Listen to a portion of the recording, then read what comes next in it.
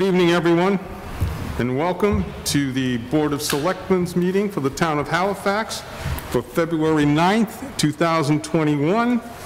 And as is our usual case, we are being uh, available to participate in that way. We're going to start the evening, as we always do, with the Pledge of Allegiance. Please join me. I pledge allegiance to the flag of the United States of America and to the republic for which it stands, one nation, under God, indivisible, with liberty and justice for all.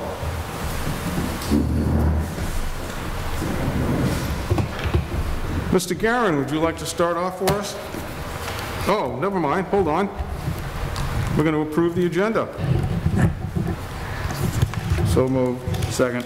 All those in favor? Aye. Aye. And then we can move on to the minutes.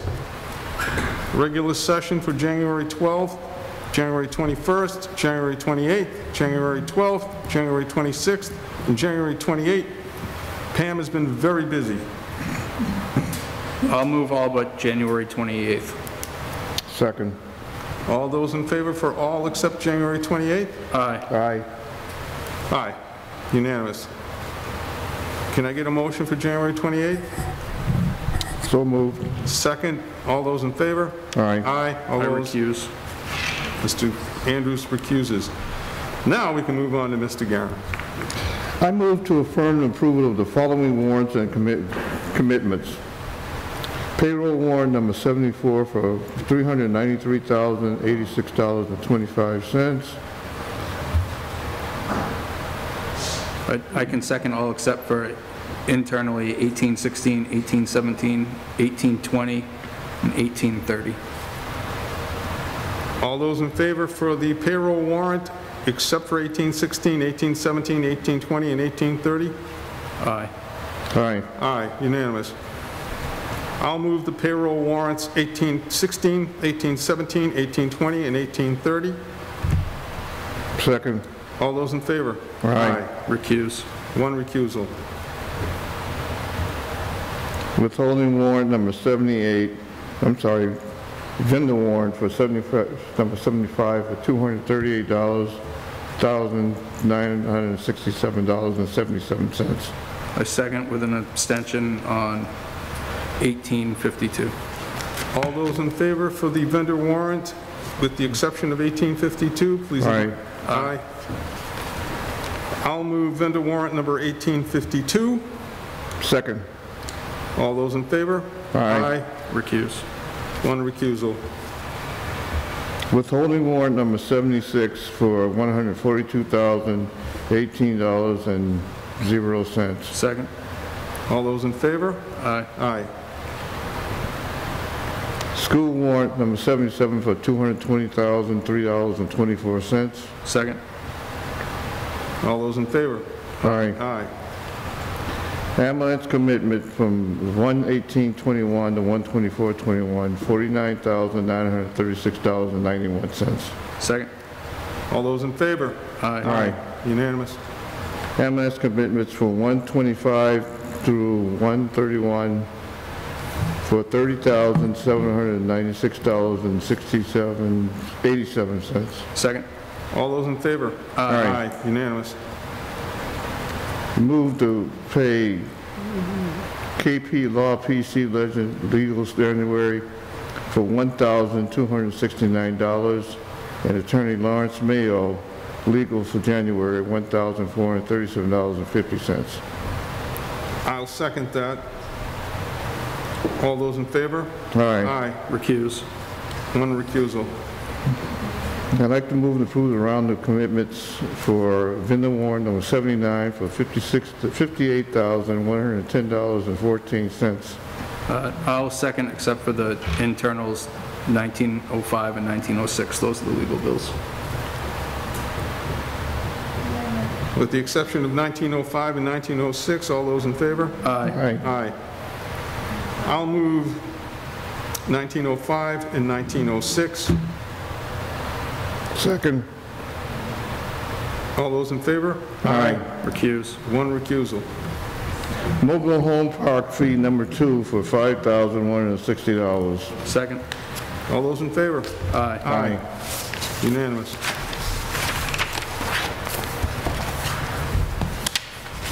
Does that bring us to the selectmen? Oh, that was the selectmen. Selectmen's bills.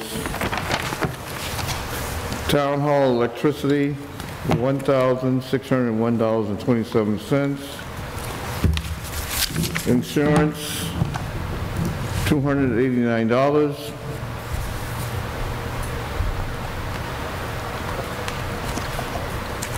Selectmen's expense account, $13.36.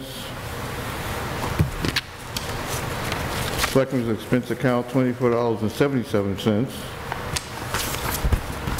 South Shore Women's Center, $3,500. Law account, $72.15. I'm sorry, $72.10. And that completes the presentation. I'll second. All those in favor? Aye. Aye, unanimous. Thank you, Mr. Garrett. General Mail, we're going to move on to Mr. Seelig. We're not going to be meeting on Thursday because two of you won't be here. um, Troy has another obligation, and Tom will not be available either. So just very briefly on COVID, um, cases are down during the past 14 days, although there were six today. The state's encour- encouraging the mass vaccination sites rather than local sites. They think they're more efficient. Um, I know they're hearing from a number of communities, not just us, um, and not just South Shore, because I was on a um, webinar with the MMA early this afternoon, and there were plenty of people from plenty of parts of the state really saying, look, we're set up, we're ready to go, just get us the vaccines, just don't rely on Foxborough, for instance, or the, the large ones. Um, But Bob Valeri was hearing the same thing later in the afternoon from the Mass Board, um, Department of Public Health, so we'll see whether, um, I know that Jason and Bob and Susan have been working very hard on getting our 75 plus, but they're going to be about set up by the end of this week in the sense of everybody who wants to be vaccinated probably will have been vaccinated here in Halifax for 75 and up. They've worked very hard to get the word out to people via robocalls and everything else, um, getting transportation if they need it. So uh, I know Jason's working with Kingston and Plympton, trying to set up a regional um, center. We'll see how everything works, but everybody's on board to do something if the crucial thing is getting the vaccines. Um, Legal no report, pictures in the selectmen's meeting room. Um, We've distributed two of them. The old Halifax picture map has gone over to the library and to the police station. We had received a Renaissance Award 20-some odd years ago when the center school was redone as the police station, so that's gone to the police station. Um, The question is, we still got uh, at least two um, objects to distribute if um, other departments, for instance, might want them. Pam, was there anybody else who was interested in? And those are not, Yeah, um, no, like, like I said, um, we had talked about me hauling the other girls, um, said, you know, maybe they want a area shop in the lobby somewhere, like there's a couple flat walls, like right where the elevator was right there, so maybe put that one there, but I don't want the, what he's holding, This, this is the redec- rededication of the newly renovated and extended town hall and the restoration of the historic Pope's Tavern building for yeah. use by the Council on Aging and Historical Soci- Society. Maybe that should go over there. Yeah, I was just going to suggest that myself, the Council on Aging at Pope's Tavern. Okay. We've asked them if they have a spot for it, if they're interested in it. I It- agree. It's, it's old enough that even the signatures have faded out on this. Yeah, it's 35 or so years Yeah. old. Part of history, uh, 1987 is the Yeah. So, well, So- Sue, Sue wants to take that over. Yeah, she, she uh, thinks that they may have some use for it over there. I agree. That work for you guys? yeah. And then the other one we will, um, find out, I will get a mail hanging or Okay. something. Okay, so that's what you want to know, we'll hang up the other one. Okay. Command hooks. Oh, that's true. Yeah, Cultural Council, I'm recommending appointment of Colleen Fioramura as a, for a term expiring on February 8th, 2024. That would give us four people on there. I'm going to see if I can find a fifth person in the building because I'm running out of time to have a meeting and award the grants. We have more than enough money for all the uh, applications, so it's not, it will take about five minutes, but I'll find somebody and see about getting them appointed. Okay. Okay. But if the board would vote, um, someone to Make a move and... motion to appoint Colleen Fumara to a term on the Cultural Council expiring on February 8th, 2024. Second. All those in favor? Aye. Unanimous. Thank you, Colleen. Yes. Um, Frank Dodaro will be in a little bit later, supposedly in a couple of minutes, uh, to talk about the T-Box and possibly an expansion of the license. Um, Just pass over on Mr. Mazzarella and uh, ethics disclosures. I don't have any paperwork from him. Uh, Finance Committee appointments, Joseph Vetrano is to meet with the board on February 23rd. He wasn't able to come in tonight. He did with the meet with the FinCom, and they didn't scare him enough, so he'll come in on the 23rd. Uh, Deborah Pasquale is to meet with the FinCom on the 22nd. Um, If the selectmen want, I can set up an appointment for her to meet with the selectmen on the 23rd also. Is that uh, reasonable? I'm sorry, Deborah Pasquale for for FinCom. Uh, Yeah. Okay. Yeah, I'll get that set up. Um, Green Earth Cannabis, just finally got the uh, draft done, which was following what the board's directive was, which was to take the Bud's Goods uh, HCA, do the cut and paste to change over to green cannabis, but also to change the establishment from one that was doing cultivation and manufacturing to one that was doing retail. I've sent that off today finally. Um, We'll wait back to get a reply, you know, red line draft based on that starting point. Good, thank you for doing that uh, in in amongst everything Yeah. else we've got to do. Uh, GATRA affiliation, I don't have a report, I have to work on that. Zoning and floodplain, FEMA's requiring an update to the town section of the zoning bylaw related to floodplains. I've given each of you a copy of the revised floodplain section. Um, I'm recommending it be submitted to the planning board for a hearing and subsequent recommendation to town meeting in May. We need to get that done by July. Is that the same map as last year that we passed over because of the Yes. issues? No changes to that? Okay. Do you need a motion? Yes. Move it. a motion? I move it. I'll second. All those in favor? Aye. Aye. Thank you, unanimous. Wage and personnel bylaw update, I've submitted a request to the other nine communities in our 10 towns for pay scales and job descriptions for the groups, uh, grade six and seven positions. I need to send out a similar note about the clothing allowance for the Board of Health agent.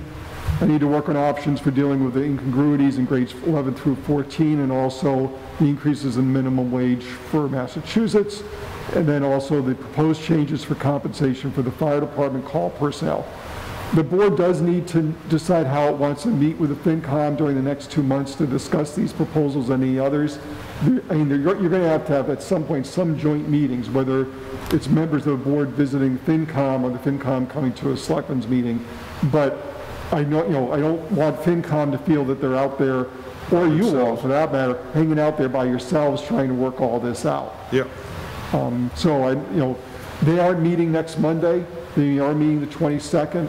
I can talk with them and say, you know, let's put this on the agenda, I'll specifically post for the board, you know, whoever can come, when, they do a Zoom meeting, um, whoever can come and we can start the discussions on those areas. Maybe I'll have some information on some of these subjects by then. Yeah, I Would think the that be 22nd's a good idea.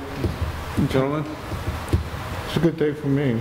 Okay, good, good. Thank Um, Area 58, we're going to talk to Richard Goulart um, in a little while, Um, and we are at 6:45. Mr. Dodaro. Perfect timing. Good evening, everyone. is the mic on? Uh, it looks like it's on. Is it on? Oh, fr- no, Richard. Richard? Yeah. Oh, yeah, we have you at 6:45, Dodaro's at 7. Right, sorry, I had my reversed. Yeah, Yes. no, no, you're, we're good. Good. Good evening. How are you all? Good, good, Howie. So uh, I came, wanted to come to talk more or to uh, give you an update on where things are regarding the uh, contract. I guess you guys wanted to speak to me as well. So uh, we, uh, Carver is just about ready to sign their next 10-year contract with Comcast. Uh, It has to go before the selectmen, at which point they will decide whether or not they're going to approve it. The contract will uh, increase the percentage in Carver from 4.5% to the maximum of 5%. And also for the first time in Carver's history, as far as I know, um, and as far as Ron knows, so probably the first time in history, other than startup capital, uh, we'll be getting uh, an annual capital amount from Comcast as well, uh, in the amount of $20,000 for the 10-year period. Exclusive of what they're charging subscribers? It's a separate thing entirely, yes. Yep. Um, The uh, Tri-Town contract is, uh, Halifax currently, uh, sorry, Carver currently is having it looked up by KNP Law to uh, see if there's anything that needs to be revised, or basically to make sure that everything is, uh, all the i's are dotted and the t's crossed at this point. Um, They can share that with you, or you can also take a look at it, obviously. Richard, probably the best thing is if they've got a draft or whatever, when it's available, Yeah, if get it it could be us. sent to me and I can send it to the board. Fantastic, And also can the make sure cable happens. advisory folks, or, you know, I want to make sure the Halifax members all see it. Okay, absolutely. Uh, I did speak with Plympton for the first time last night. Uh, Their meeting was via Zoom. Um, And uh, they seem, they had a couple concerns here and there, things that, uh, basically operational things. Uh, The website had been down over the weekend. It's been migrated to a new um, hosting site, so that problem should be solved. Um, While I was speaking with them, I also wanted to let them know that if we are hosting the Zoom, and hosting the Zoom basically means that we're the host, create the link, and then send you along the link, and can make one of you the co-host, we can cablecast the meetings live on Channel 15 in town, as opposed to just waiting for the uh, tape or watching it via Zoom. Additionally, um, there may be a change, we've got to, we've got to have a, uh, either an internet connection here or a um, mobile hotspot, but would that technology has advanced to the point where we could have the, the Halifax Selectmen meetings live even from here? Now, will that cost any extra over and above the contract? It wouldn't charge, it would be part of what we use the money we get to make it happen. So it wouldn't affect the town any further than that. Um, Beyond that, um, the opening for the uh, Board of Directors has potentially been filled. I guess he still hasn't come before you. Um, The, the two Halifax representatives were comfortable with the person. His name is John Hanson. He grew up in Halifax. I forget what street. Um, But he will be coming before you uh, in the near future. He actually, uh, many times in the past, particularly when we were in the, uh, able to hold the meetings in the selectman Meeting Room, was uh, one of the videographers who uh, had filmed this stuff for you. So he is familiar with the operation and is interested in uh, serving in that capacity. Um, The only other thing I have on my end is, um, oh, we have been having some trouble getting um, the recorded videos from Halifax Elementary School and also Silver Lake. So I don't know if uh, there's anyone you could reach out to to help us get the link. Again, we could potentially host the Zoom and then put them live on the channel for those as well. Uh, The one additional thing is we just increased our number of Zoom accounts and now have a large meeting option, so we could ho- host up to 500 people. Now, I doubt we're ever going to see that in Halifax, and it would take the entire population of Plympton, but beyond that, it's just, it does give us more flexibility in doing things, particularly if there was a a contentious school committee meeting, as sometimes those seem to be happening right now.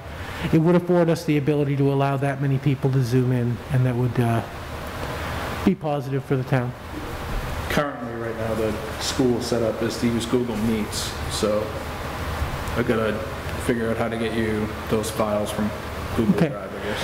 I am 95% certain that even Google Meets we could put on the channel live. It's really just a matter of, I mean, I'd have to look into it because we haven't done Google Meets.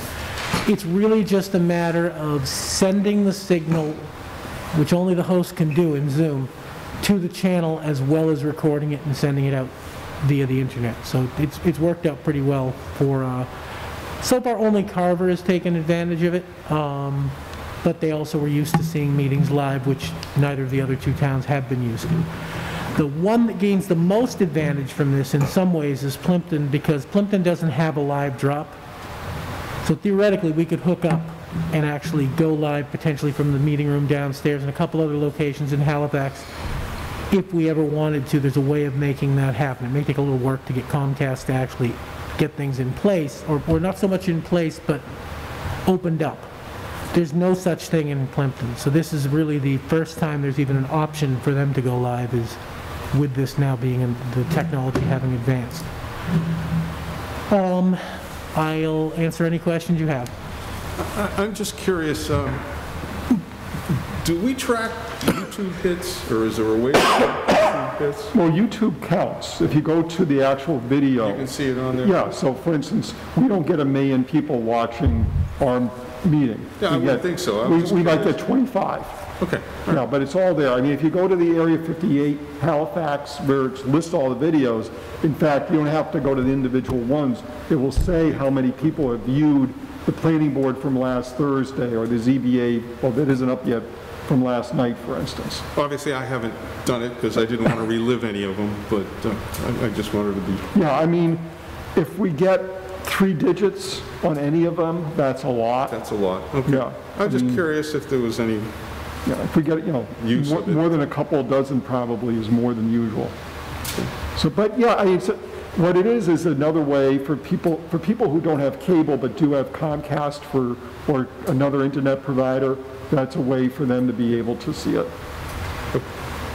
okay, I'm I'm not going to get into my Right, I understand.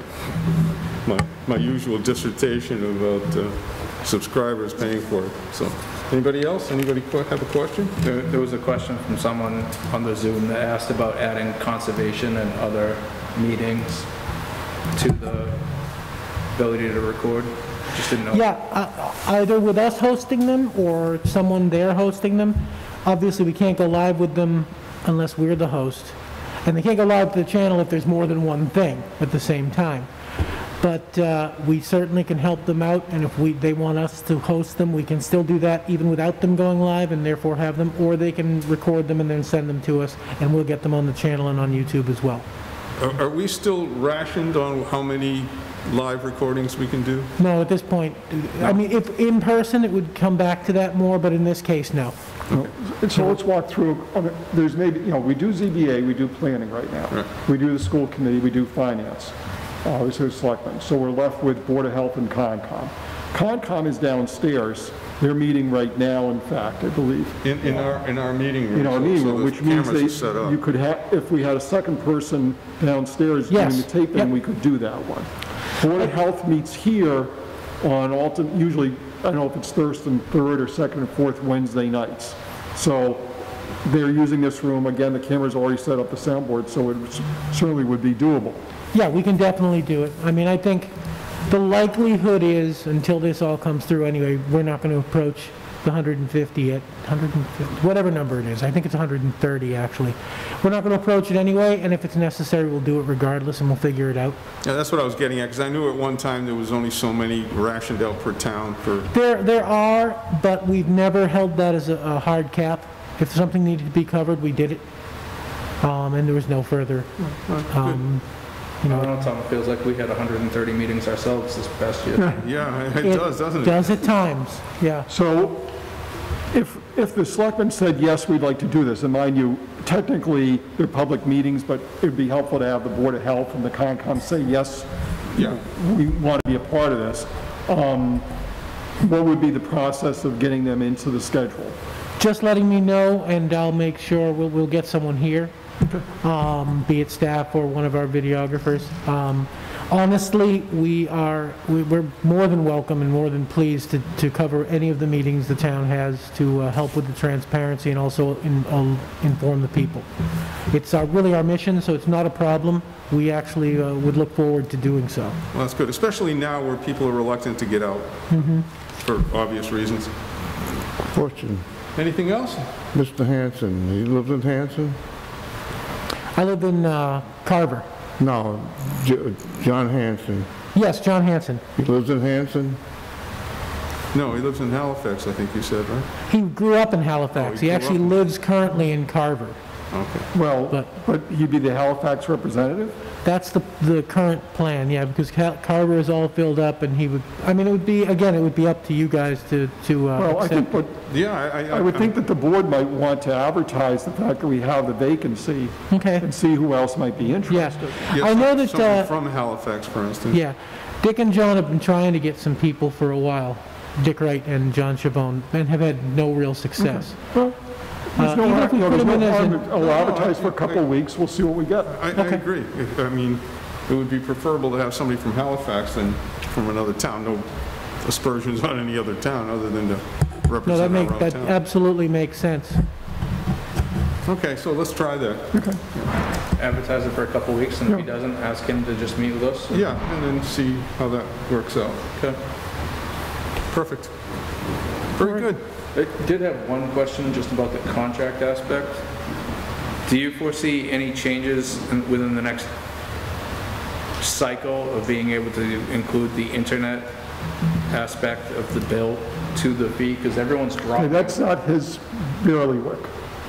Does no, does that come on the, uh, We the cable Yes. contract? Right, so what, we, we didn't do this because of COVID last spring, but on an annual basis, the board can hold a hearing with someone from Comcast to come in. Okay. And that's when, to bring Okay. up exactly what you're Yeah, saying. that's what we, yeah. All right. Thanks, Charlie. Yeah. But yeah, I mean, Richard does many things, but he's not responsible for the bills.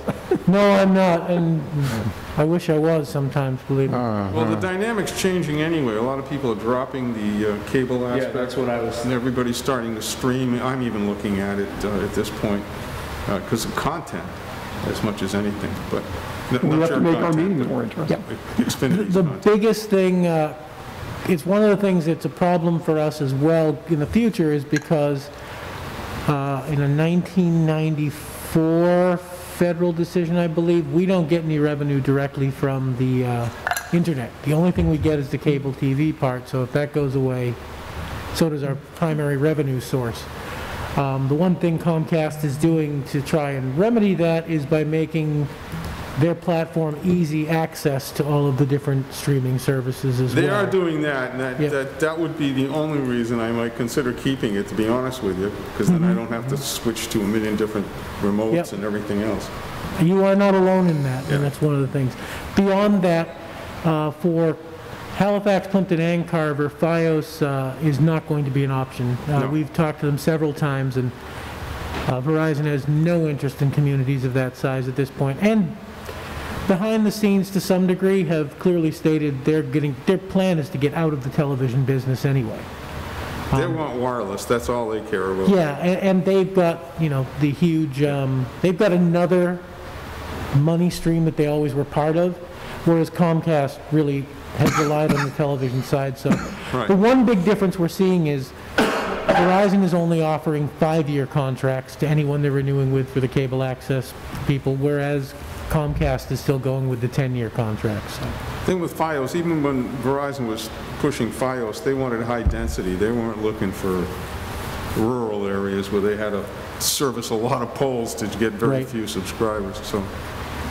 Although it does run through Halifax to Plymouth, which is kind of weird, but, Mr. Chair? yes, sir. Seven o'clock. Oh, yes, the clock. Thank you, Mr. Garin. If there's no other questions, I think we're good. You're good? Yeah, I am, thank you very much. Thank you for coming in, thank you for updating us, very much appreciated, and uh, we will look forward to getting a copy of that contract so we can take a look at it. Yeah, As soon as I have it, I'll get it to you. Thank you. It is now 7 o'clock, as Mr. Curran reminded me, and we have an appointment with Frank Dodaro. Did I say that right? That's correct. Ah, there's once. All right, great. That's actually one that people don't get right, too, so. Frank, just, you'll, you'll want to get very close to that mic. No problem at all. you can pull, you can move it towards you. Oh, okay, yeah, I wasn't gonna touch anything if I don't have to. I was trying to try to give myself some, uh, space there. Um, what I'll be, uh, want to discuss is, I've already, um, spoke to Charlie about this over uh, email is uh, I am the owner of the T-Box in Halifax, the uh, indoor golf facility, bar, and now because of the COVID, we've had to transform into a restaurant uh, because of the pandemic. So now we have a full food license and food service place. And um, I, you know, we're, we're, we've been in business for, I think this is our 12th year. And one thing we're finding is due to the golf limitations we have, uh, our facility is uh, very limited business time-wise, meaning we, uh, we're very busy December through March, April, depending on the weather. And after that, we're, we have nothing going on. Uh, once in a while, we'll have a, a rainy day where people will come and play, or we'll have something going on. But because of the way we've been having to expand with our business over the years, we now have a full-service bar, we have a full-service food uh, menu, and I was, I was uh, hoping to find out if, um, well, actually, I was wondering what it would take to expand to it, uh, to the parking lot outdoors and have something that would be more of a beer garden type thing for the summer months only. I couldn't really do it during the winter when it's cold. I was thinking more late spring, summer. Uh, But we, uh, so I I asked Charlie on Friday, basically, if, uh, what would it take to get that ball rolling, and his first uh, step was an informal discussion on the requirements before we even have a formal request or anything like that. My- My, first thought would be, how does this comply with ABC requirements? Do, do we, have you had an opportunity Well, to when look I, at that? when I contacted the ABCC, they saw this as a separate license, because the two spaces aren't connected. Unlike the COVID situation for Grill 58, for instance, where their outdoor patio, whatever you want to call it, in the parking lot, was directly adjacent to the restaurant, and specifically allowed under COVID, this is a different situation, second floor versus first floor, inside versus outside. Doesn't mean that you should not apply, Right. but, admit- you know, Yeah, I think there'll be some challenges with the ABCC first, Um, and if we do need a separate license, we can see if we can go that route, have to go that route. It'd be the same, I don't even know if they allow uh, two licenses in the same property. Uh, that's- I mean, there's Yeah, some that's something we regulations there. can- we can- But also, I could have uh, some informal discussions and say, you know, I give them examples of other places where they have separated alcohol from, I mean, two separate bars. So, I mean, I think it'd be, the- it- I think um, it would be a little, where it's upstairs and downstairs, there might be, have to be a discussion to show them why it has to be that way. And the uh, advantage I would say we'd have in that discussion is our upstairs won't be being used that much, just for, you know, our, our services. The, uh, during the summer, when- when, when one's active, the other won't be, almost. But the other will be used, it just won't be, there'll only be one service area through one period of time. So, I we'll I see. imagine during the summer months, you know, you're getting use on bad weather days, that, that type of thing, right? The, uh, I mean, once in a while, I mean, I- I- our, our sales go from, we rent out traditionally, uh, somewhere around probably 50 to 60 hours a day when it's busy during the winter, and then when it's, when it's not busy during the, win- I mean, in our primary days, to 20 hours a day, and then in the summer months, the average is one hour, Yeah. a week, two hours a week. I mean, it's a big Un- Understandable. difference, yeah. The- The other question that comes to mind is, uh, you should also talk to the, the planning board. Oh, um, I actually contacted the uh, Board of Health and asked for a- an outline of who I should be talking to. Yep. And after you, the selectmen, all of the selectmen here, the question, the next was zoning. Uh, uh, the- We didn't even get to the Board of Health and the um, fire until everything's set up. First, we have to get approval before we can even do that. He actually, um, uh, the gentleman, I can't remember the name off the top of my head, but uh, he he laid out a really nice uh, outline of what I'll have to do. Yes, yes, he he laid out a real nice outline of what I'd have to do. So this is where, this is the first step, was just, even if it's, it- you know, what, what, um, what steps would you like to see taken first before I come in front of you and ask before? But I mean, obviously, the ABCC is the most important, because we have to make sure. Board of Health, you already alluded to, but, but planning board is going to be an important element in this. Mm-hmm. Parking, as I recall, was an issue in terms of spaces, and I think they kind of squeaked them in, and I think some of them are getting used up now with the outdoor thing. So, so I'm not saying that they won't give No, you... you know, understandable. Work with you, I'm just saying that that's an area... Or they could even just let me know what the requirements are and if we meet them. Right. Where are you, where are you thinking of of having a Sure, garden set up? uh, I actually, is it okay, I, I Yeah. got kind of a, uh. I, uh, it's gonna be on the opposite side of Route 58. Uh, because that's where our location is. We were actually there right in the beginning. Uh, so Route 58, and this is more of a, about, right next to our entrance, and there- there's a grassy knoll, for lack of a better term there. Grassy knoll, that's a, Yeah, I think another way to grass location, but, uh, So you're selling shots, is what you're saying? Selling Uh, no, shots, yeah. Actually, I do not want shots. I was gonna convert it to a liquor menu. I really want to be more of a draft beer than I guess, but with food. Real, uh, because our of hot dogs, popcorn, and things like that. I want to expand on that. Um, eventually. I would like it if, uh, I could even have a, you know, more of a, I want it to be daytime only thing. Really nothing at night is my, I mean, maybe uh, no later than eight, nine o'clock, but I don't want it to be anything at night, because I need it to be, I need it to be kind of small just by the way it is. So I don't see why, I don't want it to be a 100-person place where everybody's hanging out. this is kind of over by the flagpole, right? Yes, right near the flagpole. Right near the, uh, we- we'd actually have use of, I have an in with the, uh, with the owners of the building since he's my father. Okay. So I can, uh, I can use the garage without an issue, uh, which actually would be a good power source in place to put the bathrooms and things like that. So I guess my question would be zoning, would, you're taking up parking spaces, would that not eliminate them of being, being? Y- Yeah, that's why I I brought up the planning board, because that's really where that Well, I get taken care I of. do think the nice part about where that is, is I would be taking up the parking spaces that would currently very rarely get used except for when um, the liquor store is really busy. That was the, that was the good, so we, I mean, we can obviously go through the numbers, but the, um, that parking space in front of the, ye- the top yellow circle, I, those get, uh, those are not the most uh, ideal place, actually, people don't like to park there. Well, some of you, some of the parking spaces may have now have designation for the T-box that you're not going to use in the months that you're running. Exactly. anyway. Yep. And that's something, you know, to bring up to the planning board. Yep, exactly, because it's, because it's the same business, they'll just be using them, it will, ju- you know, we'll just be using them for a different spot. Upstairs, downstairs. Exactly, thank you, I appreciate that insight, but, uh, yeah, more, I mean, I've done preliminary cost, you know, cost vetting and things like that, I really, I mean, I'm gonna have an issue with anyways where, um, with bathrooms, so that was, I- that's gonna be a big hurdle to get over, so I don't even, I don't know what the rules are gonna be, I don't know where uh, where I can get them from and all those kind of things, so there's still a lot where I am, I just wanted to know what you, what your thoughts, your gentlemen's thoughts were on where I, what I should go directionally. Well, I don't think you're under special permit, so I don't think you need to go to the zoning board of appeals, but definitely the planning board. Board of Health is a given. Um, And, and then, you know, fire, Yeah. Well, the, uh, yeah, fire and health, obviously. Now, you're you looking to put up tents? You're you looking to put up a building? What are you looking to do? My initial thoughts, I'm trying to start out small.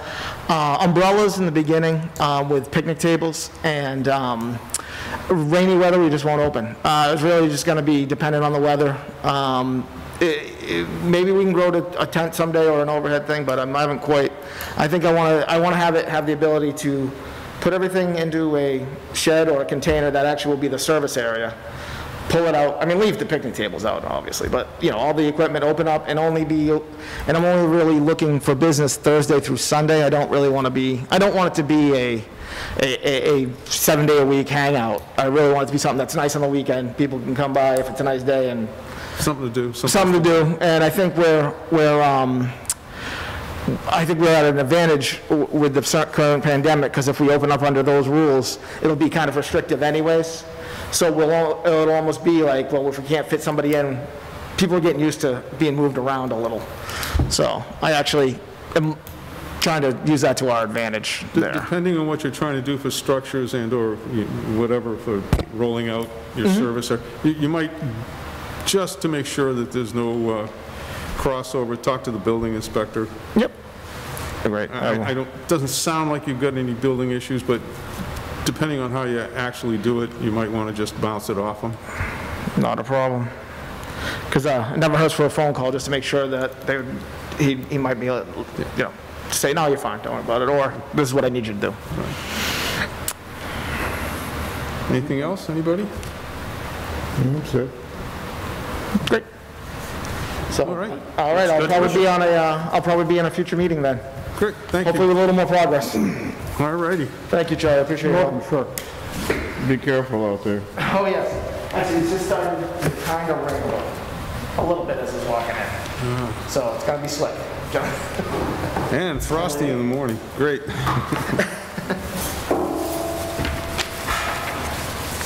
So I have a couple of things left on the list here. Um, Zoning Economic Development Act, um, that, uh, about a month ago now, the governor had signed legislation on a, that is a sort of an omnibus bill on a number of subjects, but included changes in Chapter 40A, the state zoning law. Um, But it, there's no immediate need for any changes locally, but I've notified the planning board and the ZBA that the statute does change the voting requirements for approval of certain bylaws and special permits. But Also, a lack of high-density residential zoning near the rail station may affect future grant opportunities for the town, and there are changes in definitions in Chapter 40A that may conflict with the town's definitions. It's nothing immediate we have to do, but for instance, if they, someone came in for an accessory um, apartment, in-law, whatever, and the accessory uses, uh, structure over here is the chapter 40A, and we've got a different definition, are they coming in under the chapter 40A definition, are they coming in under ours? If we said no, or we said yes under ours, could someone appeal saying, well, they made the bad decision because it's, here's the state's definition.